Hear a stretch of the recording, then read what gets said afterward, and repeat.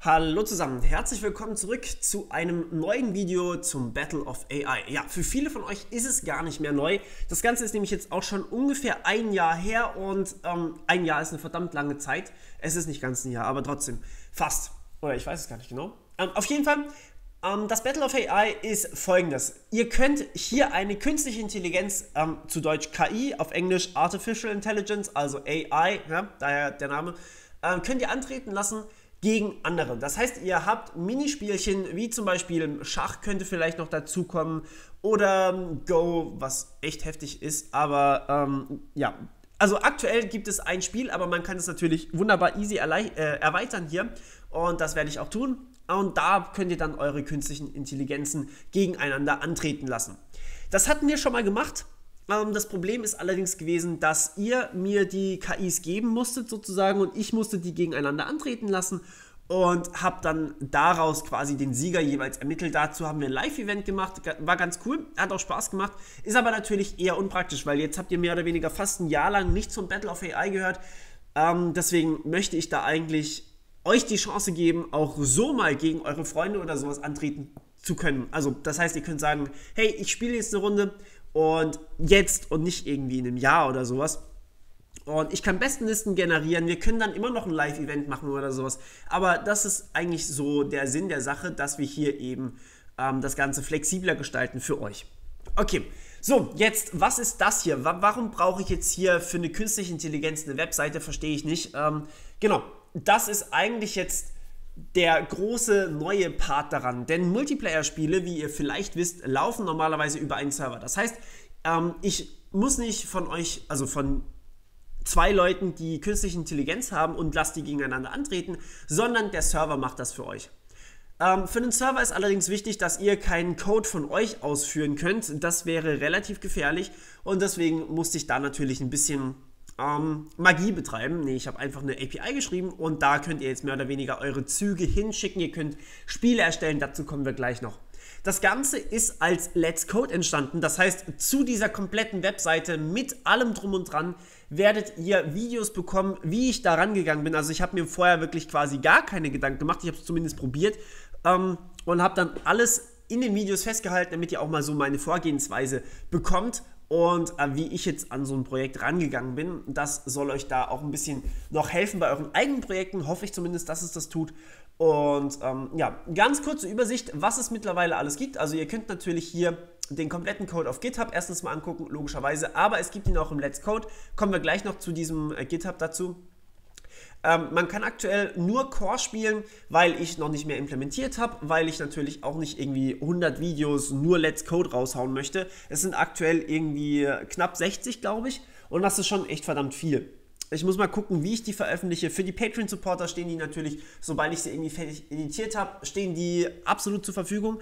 Für euch ähm, also YouTube ganz normal, muss ich mal gucken, wie ich die veröffentliche, weil wenn ich irgendwie 60 Tage hintereinander jeden Tag nur Battle of AI Let's Code ähm, veröffentliche, ist das natürlich eigentlich kein Tutorial in dem Sinne, sondern halt ein Let's Code, das ist schon ein Unterschied. Ähm, da müssen wir mal gucken, wie ich das mache, aber ja. Ähm, genau, also man kann aktuell Core spielen, ist von Anthony entwickelt worden. Ihr könnt hier einfach auf sein GitHub gucken und da steht auch eine Erklärung, wie das Spiel funktioniert. Ähm, ganz kurze Zusammenfassung, wenn ich jetzt hier einen weißen Stein hinsetzen würde, wird der schwarze zu einem weißen werden. Er würde sozusagen konvertiert werden. Und darum geht das Spiel. Wer am Ende die meisten Steine hat, also es gibt natürlich noch mehr Regeln, aber wer am Ende die meisten Steine hat, der gewinnt das Ganze. So. Und ja, das ist eigentlich auch schon so ziemlich alles. Ähm, ich komme hier gleich nochmal zurück. Das hier ist das Repo. Und hier findet ihr im Endeffekt alle Informationen, die ihr so braucht. Ähm, ja, wir haben hier, das ist wahrscheinlich auch die wichtigste Datei für euch, wir haben hier eine Core Stupid Demo AI, beziehungsweise, ja, ist im Repo quasi drin. Und ihr könnt hier einfach euch angucken, wie das Ganze funktioniert so, könnt ihr gerne machen. Ähm, aber im Endeffekt müsst ihr nur die Turn-Funktion editieren und euren Benutzernamen und Passwort hier eintragen. Achtung, die sind logischerweise nicht echt, die, den Account gibt es nicht. Den Account gab es bei mir lokal, aber jetzt logischerweise online nicht mehr. Wenn ihr irgendwie mal Code auf GitHub pusht, also eure künstliche Intelligenz vielleicht veröffentlichen wollt, dann achtet auf jeden Fall darauf, dass das Passwort hier nicht mehr drin steht. Das ist ganz, ganz, ganz, ganz, ganz wichtig. Sonst kann jeder auf euer Konto Zugriff haben.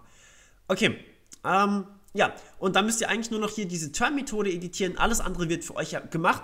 Also neue Spiele werden erstellt, wenn es kein offenes mehr gibt. Ähm, dann, ähm, ja, ihr könnt Games wieder joinen. Das heißt, äh, wenn irgendwie ihr ein Spiel verlassen musstet, weil irgendwie das eine Stunde oder sowas hat euer Gegner nichts gemacht, dann könnt ihr hier trotzdem einfach sagen, hey, ich probiere es nochmal. Und ja, solche Sachen könnt ihr natürlich machen.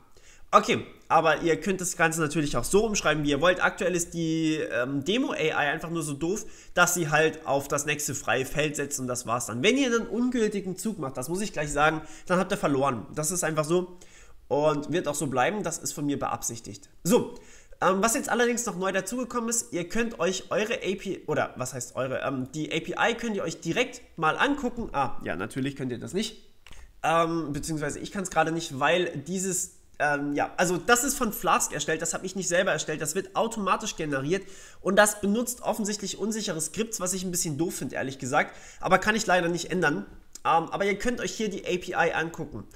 Und äh, da werden auch keine Daten oder sowas übermittelt, das ist alles safe. Und wenn ihr die API benutzt, ist das Ganze auch HTTPS, keine Sorge, das ist wirklich nur für das JavaScript, was das hier generiert quasi. Und das ist ja immer noch sehr doof, aber ist leider so, kann man nichts dran ändern. Ähm, ja, ihr seht hier, man kann zum Beispiel Spiele anfragen. Das heißt, ihr seht hier, ich kann ein Spiel mit der ID, äh, ich kann alle Spiele anfragen. Dann bekomme ich einfach eine Liste aus allen Spielen raus. Ihr könnt das Ganze auch ausprobieren, einfach ausführen und go. Ähm, und ähm, hier Execute müsste ich vielleicht noch drücken. Und wir sehen hier, die Antwort ist aktuell leer, weil es einfach noch keine Spiele gibt. Ich bin der einzige Mensch, der sich da registriert hat, glaube ich ähm, mittlerweile oder momentan noch, aber das wird sich jetzt hoffentlich ändern.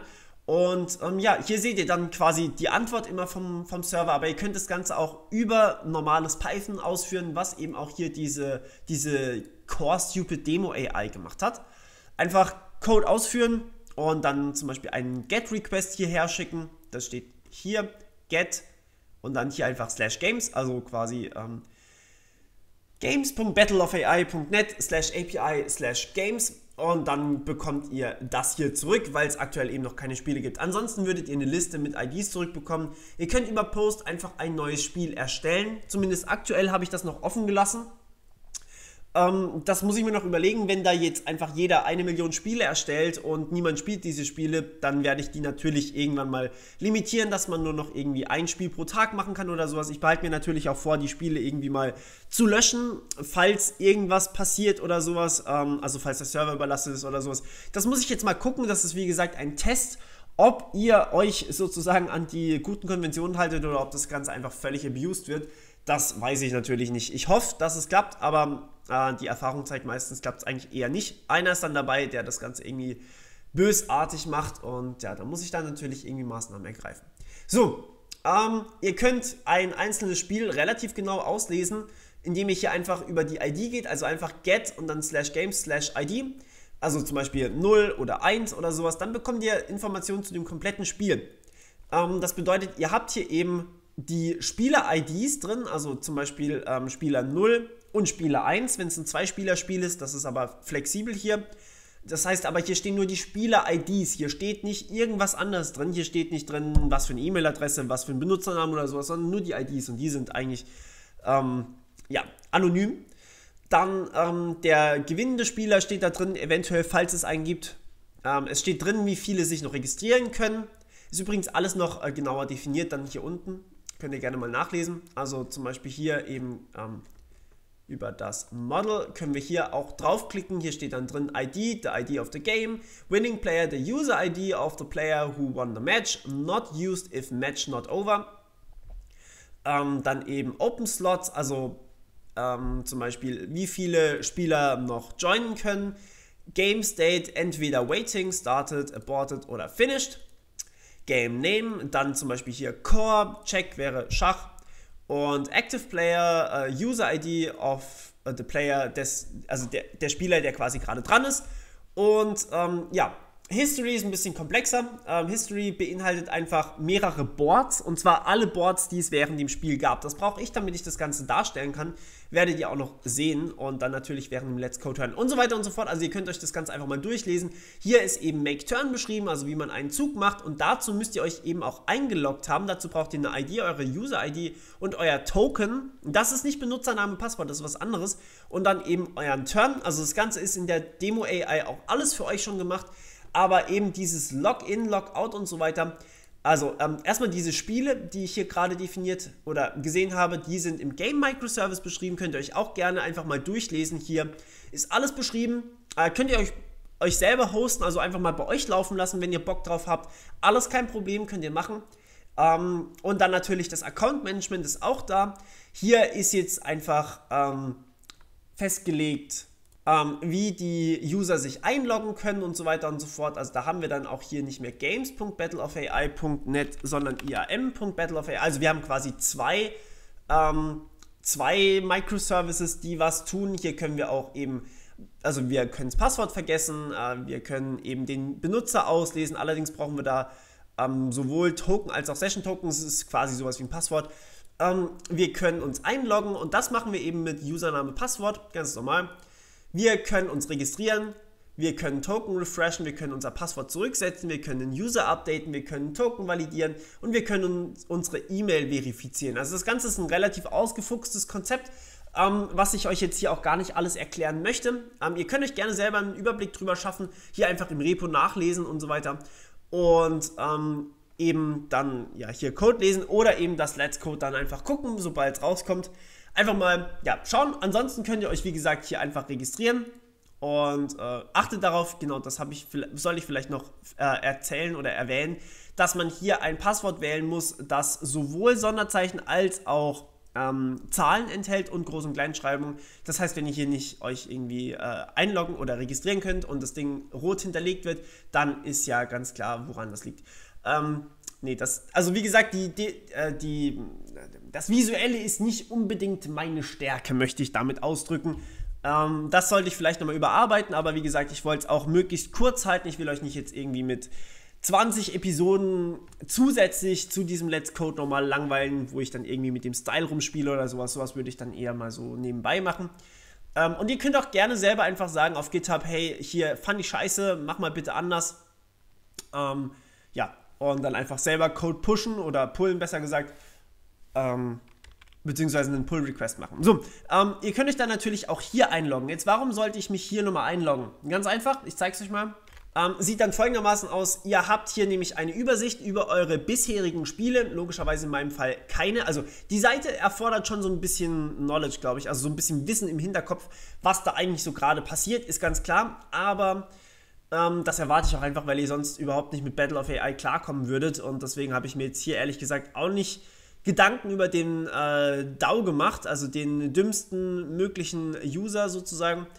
Ähm, muss ich sagen, habe ich hier jetzt ein bisschen vernachlässigt, weil ich davon ausgehe, jeder, der diese Seite hier benutzt, der kann auch eine KI schreiben, der hat ein bisschen Ahnung von IT zumindest.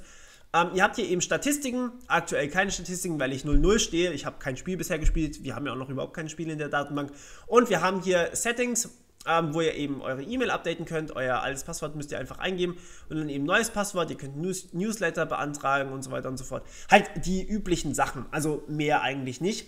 Ähm, relativ simpel gehalten, weil wie gesagt, das eigentliche geht über die Demo, über die AIs und ähm, die spielen ohne die Website zu benutzen. Die benutzen die APIs. Das heißt, die, dieses Frontend hier, diese, ja, diese Webseite, die ist eigentlich eher zweitrangig. Die soll bloß neue Leute abholen, damit die wissen, was gerade so passiert. Das versuche ich auch eben mit diesem Video jetzt gerade zu machen. Aber das eigentliche Wichtige passiert eben hier im Source Code, den ihr dann einfach mit Python bei euch startet.